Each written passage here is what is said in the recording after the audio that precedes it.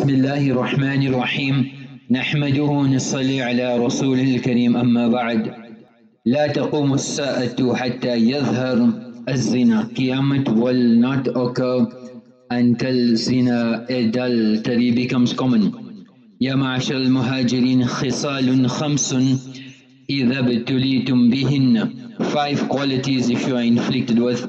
وأعوذ بالله أن تدركوهن and I seek refuge and I hope that you don't see those days لم تظهر الفاحشة في قوم قط حتى يؤلنوا بها No nation is plagued with shamelessness, indecency, adultery, fornication, and they perpetrated crime and expose their haya and modesty إلا فشا فيهم الطاعون والأوجاع and they will be involved in plagues and illnesses and sicknesses and diseases التي لم تكن مضت في أسلافهم الذين مضوا such diseases and sicknesses that they can never ever fathom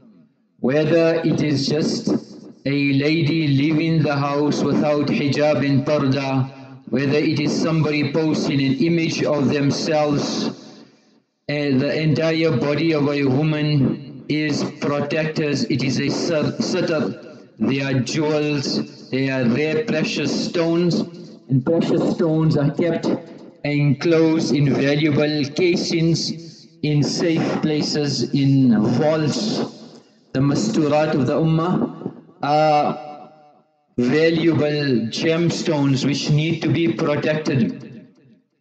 Nabi alayhi salam has warned, and we won't get into this topic now, but he is warned that that era where lewdness and shamelessness becomes common, where there was a time when the masturat of this ummah were worried. Fatima radiallahu anha was concerned that when I'm put in the qabr, the men should not know the shape of my body. Imagine if they were particular about hijab when they were dead, how particular is the ummah when they are alive? So when this ummah will perpetrate that, then various diseases will come. Now, whether it is man-made diseases in laboratories, engineered, or not, that will happen. And just for information, we'll finish the riwayat. When the ummah will not weigh properly, means they will cheat and deceive people, then they will be plagued. أُخِذُوا بِالسِّنِينَ They will be plagued with droughts and shortage of food and provisions, and oppressive rulers will come over them. Now whether these rulers who are oppressive have been engineered and planned or not. Allah's protection is what the deen of Allah. And when they don't pay zakah, مُنِعُ الْقَطْرَ مِنَ السَّمَاءِ Then rainfall will not descend from the heavens. وَلَمْ يَنْقُضُوا عَهْدَ اللَّهِ And when they break the awamir of Allah, إِلَّا سَلَّتَ اللَّهُ عَلَيْهِمْ عَدُوَّهُم مِّنْ غَيْرِهِمْ Allah will subjugate an enemy over them.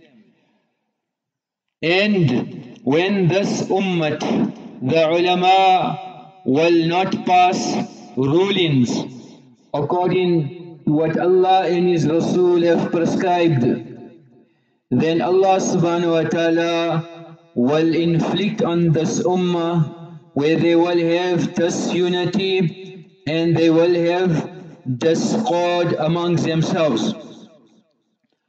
So diseases that may come and will become prevalent and will cause infliction on the ummah. So we have to be very particular about every action because every action has a reaction. If we look at the current situation of virus, plague or disease, where it originated from and people say from the Wuhan province, Hubei, one of the biggest cities in China and a great, a great province, the Huanan seafood market was supposedly the origin. So different journals have published different research and they have questioned the, the authenticity and the reality. But clinical research, initially when it had started, out of 41 patients, and that's the Lancet report, Journal of Science that was published, 14 non-related to the seafood market. That's almost one third. So first, question mark. Secondly, they didn't find any bets in the market. Thirdly, patient zero had no link, patient zero had no link to the market as well. In January 29, 2020, 99 cases, 50 of those cases had no exposure to the market. Part of the regulation was to identify a virus in the market. So the Chinese government said, for you to qualify for this virus, you have to receive it from the market.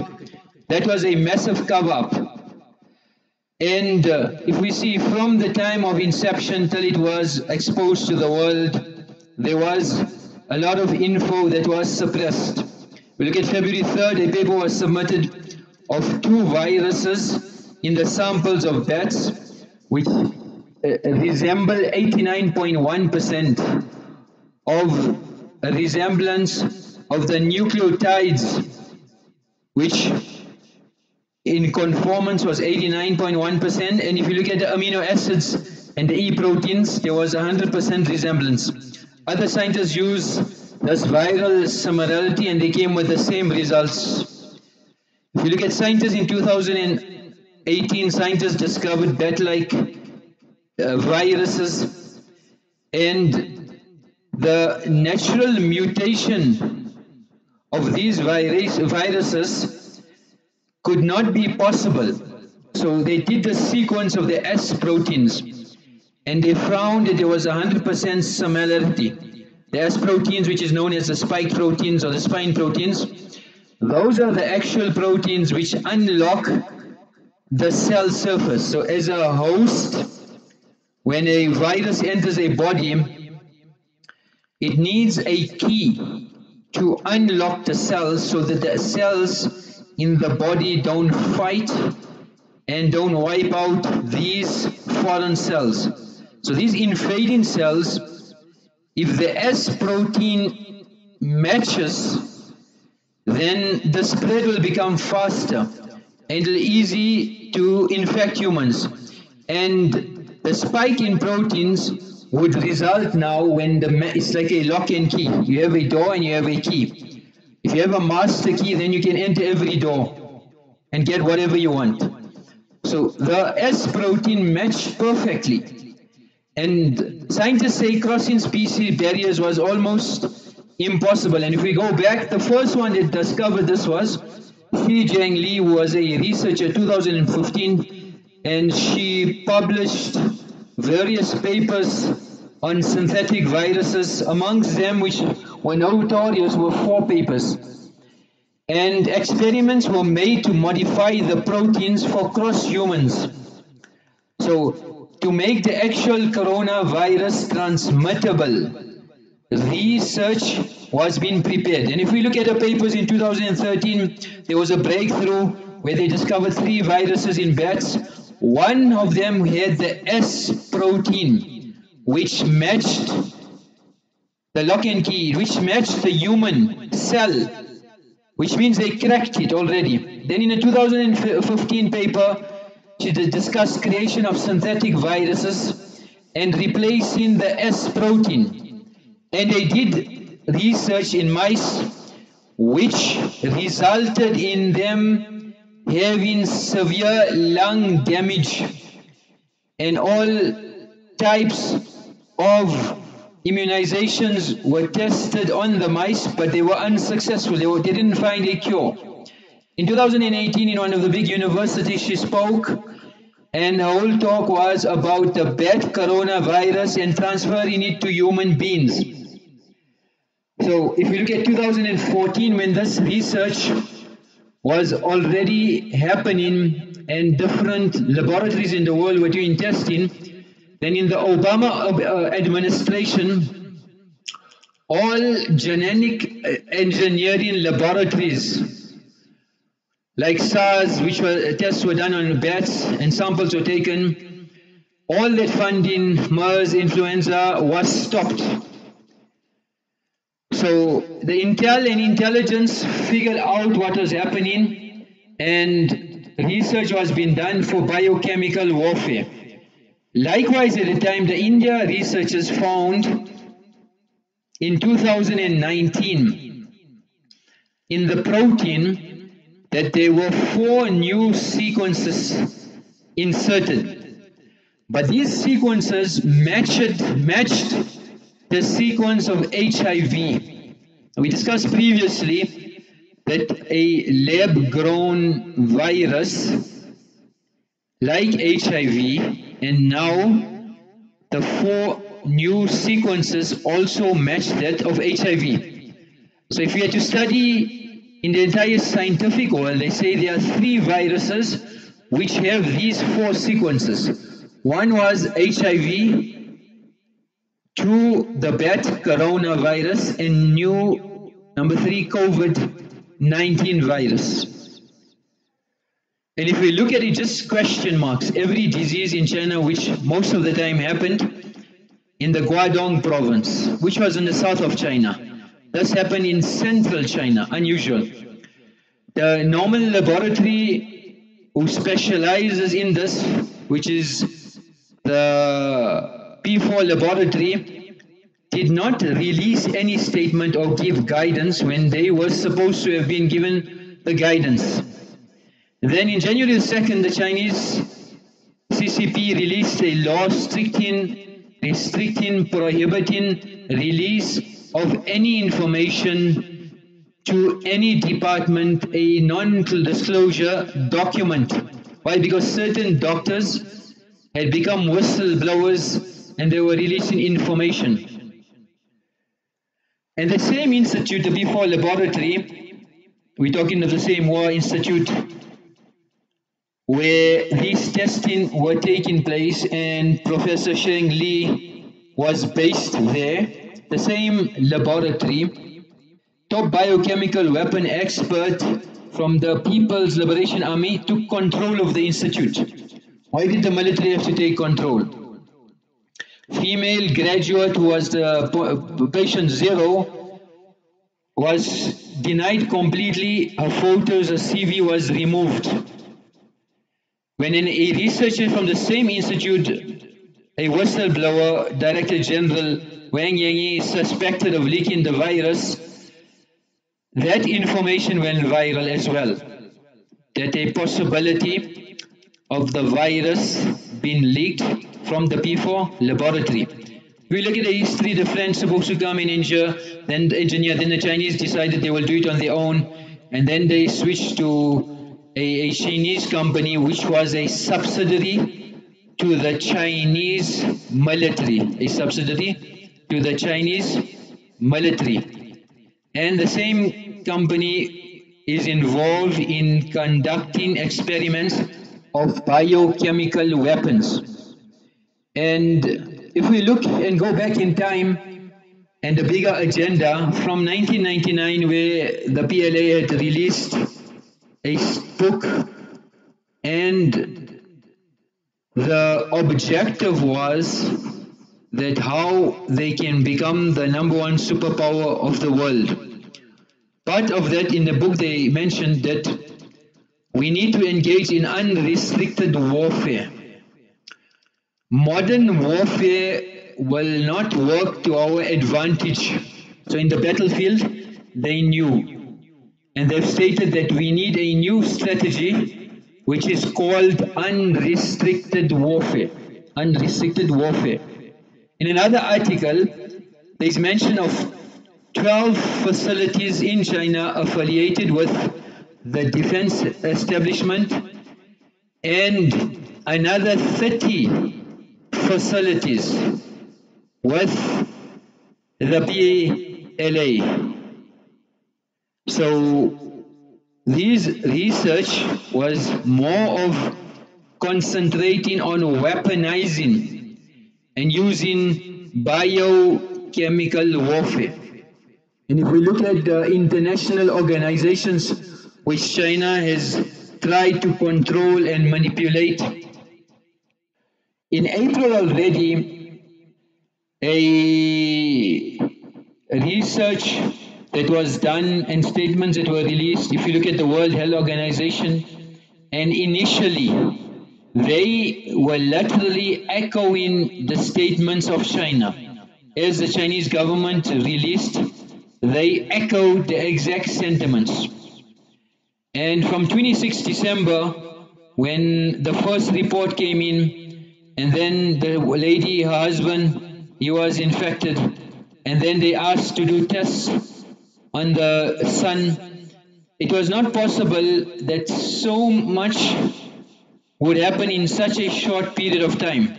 So in December they knew already that this disease was transmittable. And uh, although the hospital that received the patients could have reported it on the system which the Chinese government spent 4.2 million dollars after the 2003 SARS break, no platform was used whatsoever, but it was done discreetly to cover up then Dr. Li Wan, who was the whistleblower eye specialist at the Wuhan Central Hospital, who sent a message on WeChat. And uh, although December, January, the cover up was and statements were made that the disease is not transmittable. He was detained and he had to sign a statement that he had disrupted social dis, uh, disrupted social order. He was called in for questioning as well. And we go to 2nd January. All media in the Chinese had condemned that the, the disease can be transmitted. So if you look at CCTV, which is a, a, a propaganda agenda for the CCP, Chinese Communist Party, the same story was promoted. And the, the story of the Wuhan market was released on the 31st of December saying it cannot be transmitted. But the question is that that was the area of evidence. But all international researchers could not come and the evidence that was there was destroyed. Other hospitals in January started uh, reporting uh, cases as well and infections and nurses started getting infected and more infections. But in January 7, the Chinese president ordered that the holiday should not be disrupted. And that was amongst the largest migration of human beings on earth, where just alone 5 million people leave China. So you've got a country which knows the disease, the severity of the disease, doctors are getting infected, staff are getting infected, and at the same time in January the Chinese government hosted a banquet. Then January 20, 20th there was some acknowledgement. But the Naval Engineering University also sent a circular, that was in the 2nd of January, of pneumonia symptoms so they knew about the virus. And the World Health Organization in January also released statements saying there is no evidence of sustained human-to-human transmission. And the Chinese wanted travelers to travel. So the World Health Organization said there is no travel ban recommended.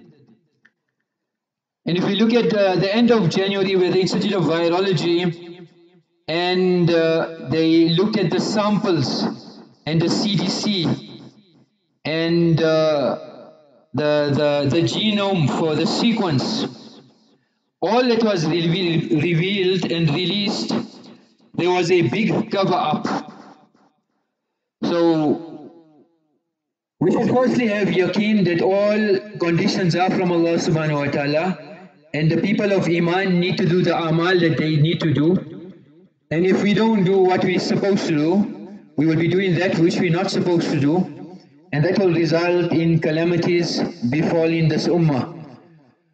The amal for today is in the end of every majlis to say Subhanallah wa bihamdi Subhanakallahumma wa bihamdika ashhadu an la ilaha illa anta astaghfiruka wa atubu ilayk. Whoever says that in a good gathering, it's if he has sealed that gathering with goodness, and if he has spoken words which are not appro appropriate, then his sins will be forgiven. So we should make it a habit to read this dua at the end of every majlis, in any gathering, anytime, let this be on our tongues. وآخر دعوانا أن الحمد لله رب العالمين